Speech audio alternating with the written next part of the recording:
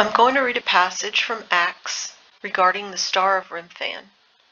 And this is Stephen defending his faith before the rabbinic court of the Sanhedrin, which got him stoned to death.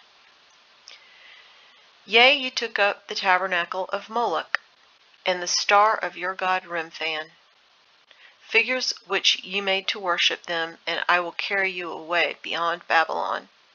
Our fathers had the tabernacle of witness in the wilderness, as he had appointed, speaking unto Moses, that he should make it according to the fashion that he had seen, which also our fathers that came after brought in with Jesus into the possession of the Gentiles, whom God drave out before the face of our fathers unto the days of David, who found favor before God and desired to find a tabernacle for the God of Jacob. But Solomon built him an house. Howbeit the Most High dwelleth not in temples made with hands, as saith the prophet, Heaven is my throne, and the earth is my footstool. What house will ye build me, saith the Lord, or what is the place of my rest? Hath not my hand made all these things? Ye stiff necked and uncircumcised in heart and ears, ye do always resist the Holy Ghost, as your fathers did, so do ye. Which of the prophets have not your fathers persecuted? And they have slain them which showed before of the coming of the just one, of whom ye have been now the betrayers and murderers, who have received the law by the disposition of angels, and have not kept it. And then Stephen was put to death for saying that. So what does the Strong say about Remphan?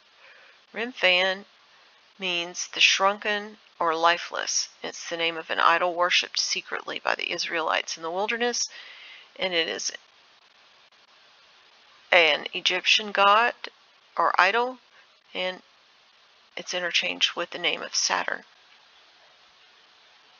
So he was talking about the Star of Remphan as Jewish idolatry.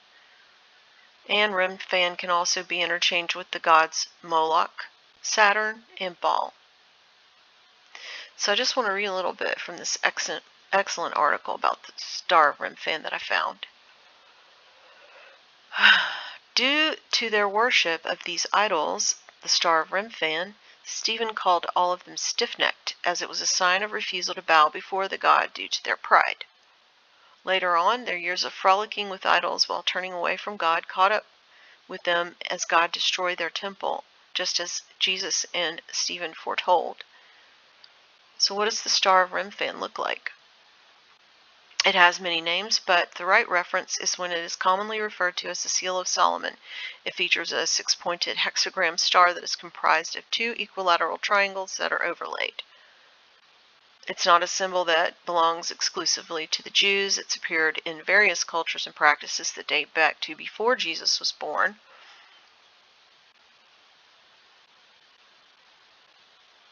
And this is just showing it on the um, Assyrian uh, depictions. There it is. Okay, so take a good look at that. So um, it has been used by the Buddhists, Freemasons, Hindus, Kabbalah, the occultic worship of Saturn, and majorly witchcraft.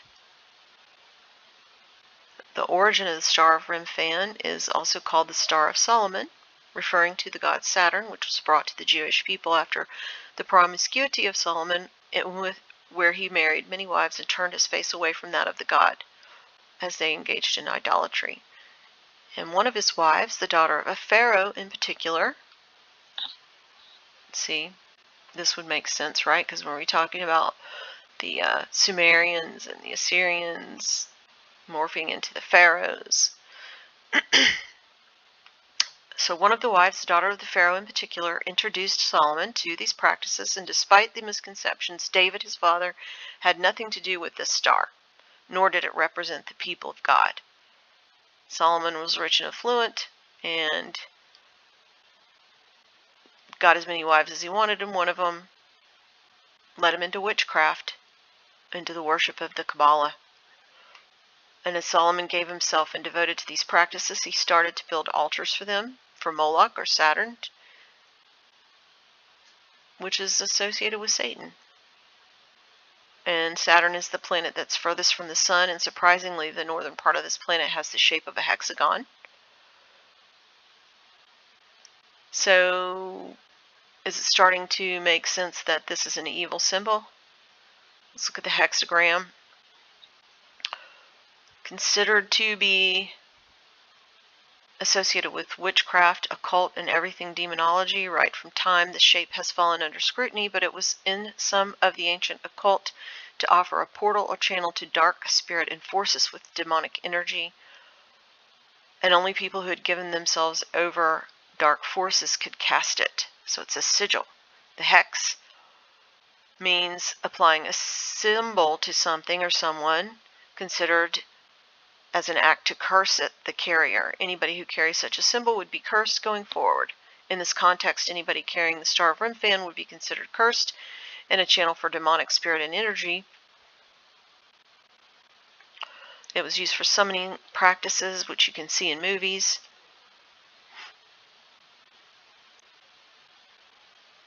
So let's look at Baal. According to the Bible, Baal is a deity of Phoenician and Canaanite descent and its shape was that of a bull or ram, and it was said to be the god of life and fertility, who was said to bring rain and dew to the Canaan area. The Canaanites credited their bounty harvest to Baal whenever they got a good harvest. However, in the absence of God, people tend to make a graven image for themselves to worship, and this is exactly what happened to the Israelites in the Bible. They were freshly freed from Egypt, but they mixed with Moab women, and they were under the temptation to worship Baal. This idol worship rose during the reign of Ahab as king. So with the biblical um, background reference, we can see that the Star of Remphan was made out as an idol for people to worship.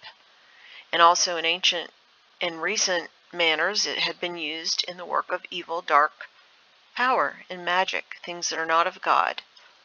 And if you want to see is Remphan Saturn, it does say that here on Wikipedia. It talks about the same thing in the Bible and the etymology of it, which you can read. Okay, so in my last video, I showed that the Star of Remphan is often shown side by side historically with the swastika, as it was in that Templar church in Ethiopia and on the Russian money.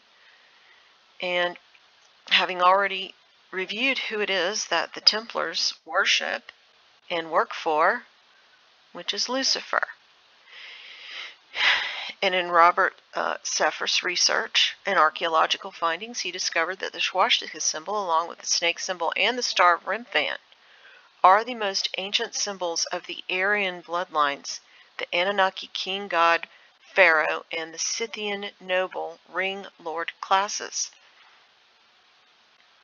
And also here in the, the Theosophy logo, which is also very Luciferian, as a friend pointed out, you also see both the swastika and the Star of Remphan, along with other ancient witchcraft symbols or sigils like the Ouroboros. You see them all here together, right?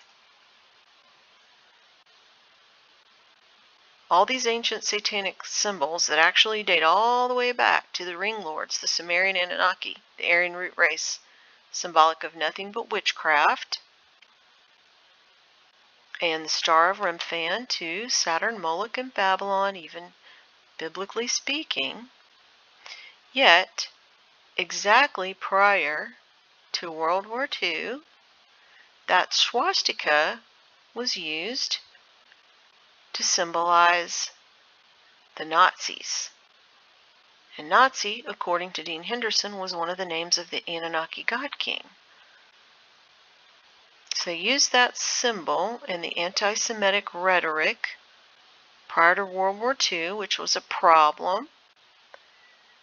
Then that created World War II, which was a reaction.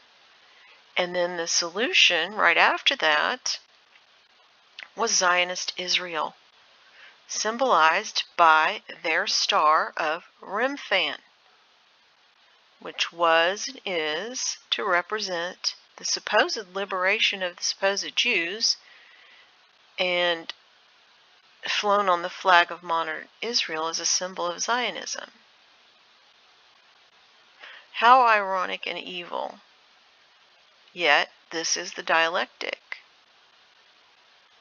But looking at the Star of Remphan, biblically speaking, it's seemingly the most Kabbalistic symbol of Jewish idolatry, as stated and noted in Acts in the most literal way. Thank you for listening.